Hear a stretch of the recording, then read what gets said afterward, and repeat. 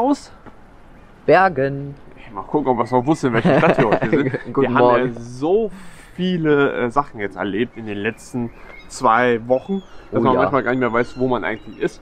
Aber anhand äh, der Stärke, der La Lau- Lautstärke einer Bahn, die hier ist, wissen wir, wir müssen wohl in der Stadt sein, wo es eine Straßenbahn gibt. Also Bergen. Ich wollte gerade sagen, laut ist das jetzt nicht. Wir haben sehr gut haben geschlafen. richtig gut geschlafen. Ja. Also es war sehr leise Ja. hier dieser Platz. Ähm, wie gesagt, wir sind gespannt, ob wir im Endeffekt was dafür bezahlen.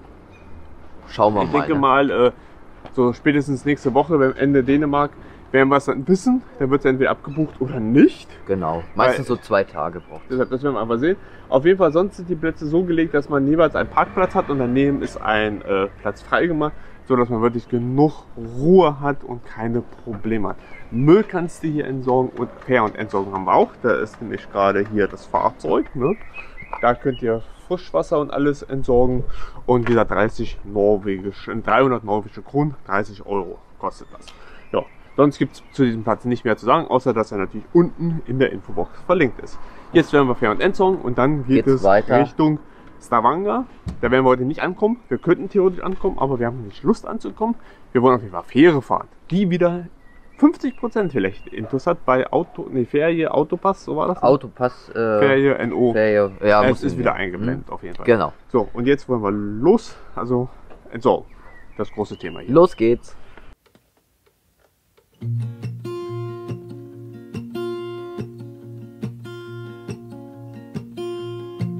There's a lot of colors.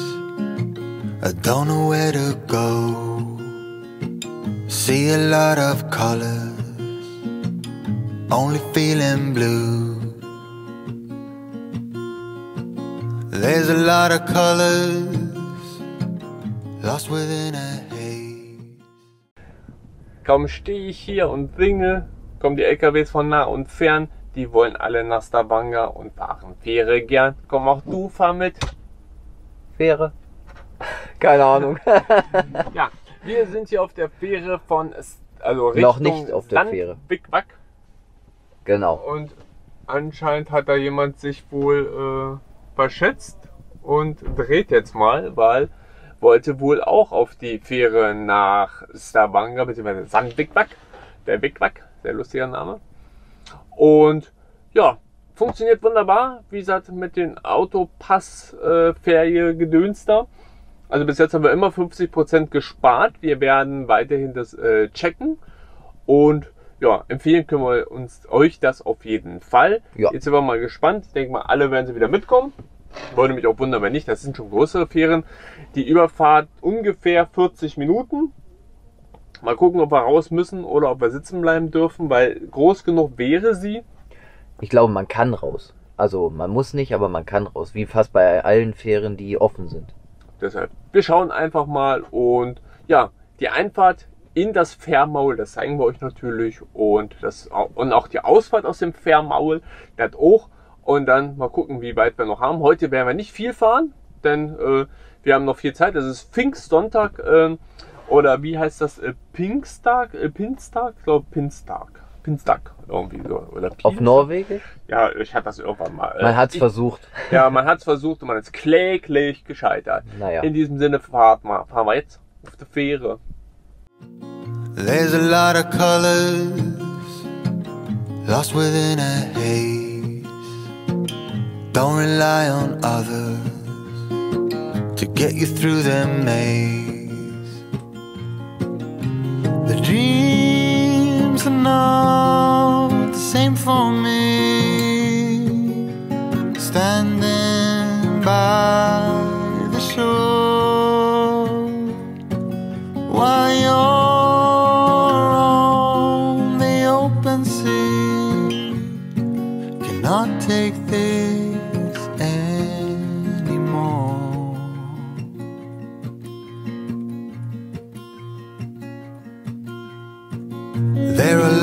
Voices drowning in the sea.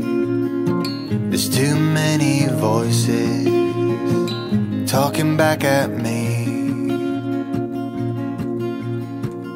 There are a lot of choices waiting to be made.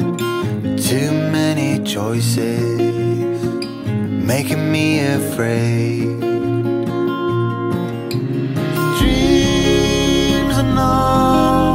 The same for me. Standing by the shore. War das eine coole Fähre? Und die hat sich verfahren, hast du das mitgekriegt? Wir Nee. sind in der Karibik auf einmal. Ach so, ja, das Wasser ist so türkisfarben. Wobei lustigerweise, und ich blende euch da jetzt gerade mal ein Foto ein, seit wann ist denn der Brocken in der Karibik? Keine Ahnung. Alles sehr komisch hier in Norwegen. Ja, wir haben jetzt äh, uns entschieden, wir machen eine kleine Pause, eine Keks- und Teepause. War das mit Keks? Ja, Kekse gibt's auch.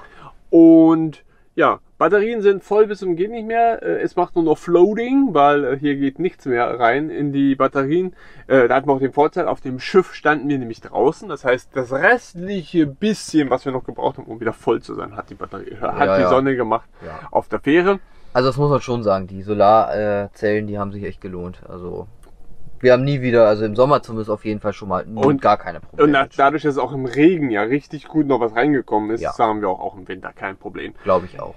Ja, wir werden aber jetzt hier nur ein kleines Päuschen machen. Hatten jetzt überlegt, bleiben wir hier an dem Platz, ja oder nein? Haben wir uns entschieden, nein, machen wir nicht, weil wir wollen morgen auf jeden Fall Stavanger, weil Voss hat nicht geklappt. Da war ein Radrennen, irgendwas, da war eine große Veranstaltung, Ja. alles voll.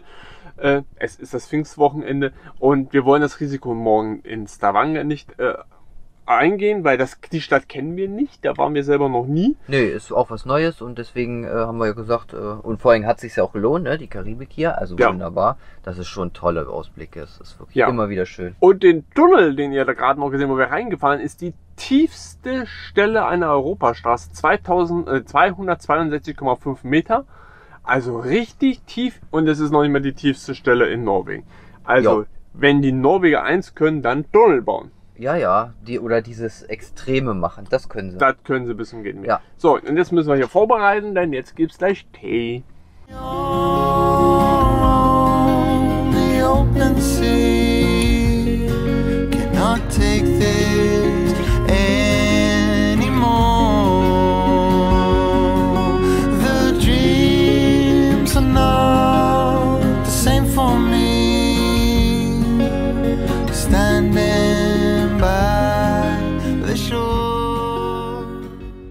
Nach dem Stop machen wir den nächsten Stop. Ja, tanken. Weil äh, wir haben gerade eine Tanke gesehen, für 21,59 kostet jeder Liter Sprit. Und wir haben es heute schon weitaus teurer gesehen, nämlich bei 25. Ja. So haben wir gedacht, oder hat Stefan gesagt, jetzt machen wir das einfach mal schnell ran. Und ja, dann schauen wir mal. Schwiegermama hat dann noch gesehen, oh, da gibt's Erdbeeren. Haben wir auch noch Erdbeeren gekauft, ein ganz kleines Schälchen für Oh. 55 norwegische Kronen. Ja, ist ein bisschen teuer. Die war auch völlig irritiert, dass ich nämlich auf einmal mit Bargeld bezahle und zwar mit norwegischen Kronen. Die hat jetzt sonst, die Leute wollte schon die Karte hingeben, aber sagt, nee, brauchen wir nicht. Quittung haben wir jetzt nicht mitgenommen, äh, das kann man sich so merken. Und AdBlue. Ja, Teddy hat AdBlue verlangt. Wir noch nicht, aber Teddy auf jeden Fall. Und äh, ja, das ist nicht so ganz so billig. Da steht es, da ist der Zettel. Da sind wir irgendwie bei Bist du Plam Plam? 30. Hast du dir eine Jacke gekauft? Das ist, hast du das ganze Shell-Unternehmen gekauft? nee, also äh, für, 598. ja, ja, aber für zwei Kanister 10 Liter. Hm. 299 norwegischen Kronen. Der ist doch wohl Plam Plam. Tja, was soll man machen? Hilft nichts. Wir müssen es haben, das Zeug. Und das Zeug ist auch Ich selber auch einen Tank pinkern können. Ja, ja. Das bewirkt das aber nicht leider. Das weiß man nicht. Nee, ich glaube, so einfach geht Das das, heißt, hast nicht. du jetzt das bezahlt? Ich habe das jetzt mit der Karte bezahlt. Alles klar. Muss ich wissen, weil muss ich ja auf die Rechnung schreiben. Richtig. Und In- wir fahren jetzt weiter. Genau, und hoffen, dass wir unseren Platz kriegen. In einer halben Stunde sollen wir da sein.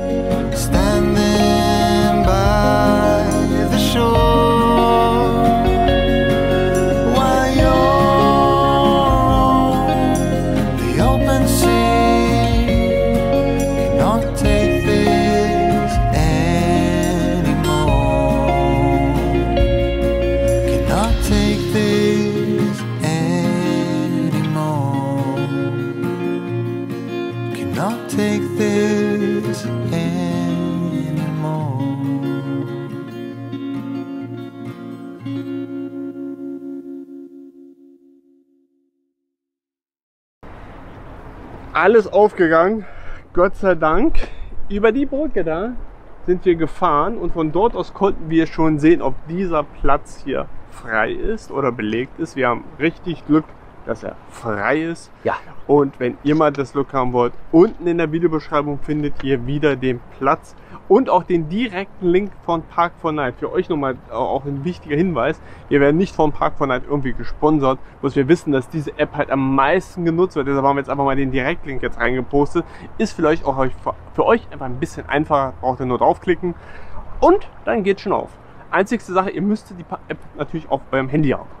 Sonst geht es vielleicht nicht wirklich. Oder ihr habt eine Webseite, die nicht wirklich euch aussagekräftig ist. Auf jeden Fall sind wir froh, dass wir hier sein können. Wir sind gespannt, wie die Nacht sein wird, weil es könnte laut werden. Die ja, die E39 hört man halt so ein bisschen. Aber ich finde jetzt so, im Moment, so wie der Wind jetzt steht, ist es alles sehr gut erträglich. Genau, wir werden einfach euch darüber berichten. Und Stefan macht jetzt einen Schwenki über den Platz, damit ihr seht, wie er aussieht. Und ich gehe rein, weil draußen, äh, drinnen ist es nicht so äh, windig wie draußen. Hey, darling, can I tell you what's been on my mind? Sick and tired of the nine to five in the city life. Hey, darling, we could get out of town, see the beautiful world around, wanna see it now. Bags and get in that car. Leave a little note and we'll drive real far. Stefan hat mich zum Essen gerufen. Und Essen gibt es nebenan. Jetzt muss ich mal gucken, ist es wirklich windig hier? Ist gar nicht windig. Von wo kommt der Wind hier? Neuerdings. Hinterm Auto ist es nicht windig. Ist ja Hammer. Hallo. Ja, äh, ich mach mal eine ganz tiefe Blickung. Bei Stefan gibt es heute nur Soße. Quatsch mit Soße. Ha, ha, ha, ha, ha. Er macht hier wieder Quatsch. Und falls ihr euch fragt, was das auf dem Schild steht, auf dem Schild steht Ankern verboten. Äh, Deshalb, Ankern wollen wir hier nicht. deshalb äh, ist auch hier Campen, äh, Campen tun wir auch nicht, sondern einfach nur ausruhen. Und dann gehen wir auf jeden Fall rein in Teddy. Da werden wir heute nämlich speisen. Die da, also einer von denen da, also der da, mit dem Quatsch mit Soße, der kriegt heute Fisch. Und Ja. ich krieg das Essen von vorgestern. Da sieht er mal, wie die Prioritäten sind. Nein, ich habe einfach keinen Bock mehr auf Fisch. Ich bin kein Fischmensch, an anderen Fisch, Fisch, Fisch. Nee, nee, nee, will ich nicht. Und ja, deshalb kriege ich das Essen von vorgestern. Auf jeden Fall können wir sagen, richtig geiler Spot, richtig tolles Wetter. Was will man mehr? In diesem Sinne, was sagen wir jetzt? Mahlzeit. Jetzt haben wir uns im Auto bequem gemacht, mal wieder. Ich habe gerade die Vorbereitung für den Film Atlantikstraße fertig gemacht. Stefan hat also heute keine Lust mehr äh, Nee. zu schneiden, weil er müsste da noch acht Szenen machen. Das wird er aber noch machen müssen, mindestens hier in dem Urlaub. Also in Norwegen wird er das noch fertig machen müssen, weil Ja, das machen wir morgen. Aber heute ist mal Ruhe. soll ja schon äh, bald rauskommen. Ne? Also rucki zucki geht das hier eins noch einen anderen. Äh, hat einfach den Grund, ja, wenn wir dann zu Hause sind, haben wir noch viel, viel zu tun. Außerhalb der Videobranche, dass wir dann einfach mal sagen können, dass wir wahrscheinlich nach der kompletten Tour, inklusive natürlich nochmal äh, zwei Videos, die wir planen. Einmal natürlich die Roomtour. Wir planen tatsächlich nochmal eine komplette Roomtour mit dann wirklich allem, was wir dazu gebaut haben. Ja, also da gehen wir hauptsächlich auch äh, darauf ein, äh, auf die speziellen Ausbauten, die wir gemacht haben. Also die Verbesserungen und so weiter. Ne? Genau. Aber deshalb ist es unsere Roomtour. Und dann gibt's noch ein Video, weiß ich gar nicht. Achso, natürlich äh, Fazit, Kosten äh, von Norwegen. Das kommt dann auch noch. Und dann werden wir wahrscheinlich, wenn nichts anderes dazwischen kommt, vielleicht mal eine kleine Pause machen, weil wir haben dann sehr viele Videos online gestellt. Aber das ist noch Zukunftsmusik. Noch sind wir mittendrin statt nur dabei.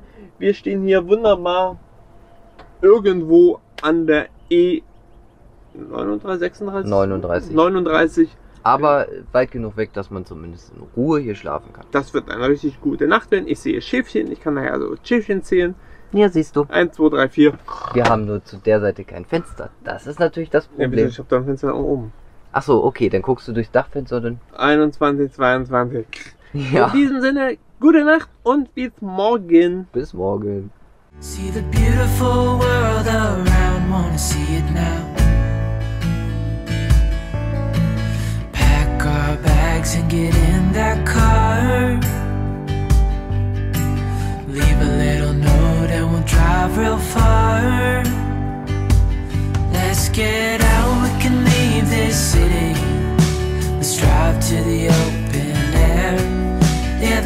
countryside is so pretty With the wind blowing in your hair. We can look back someday.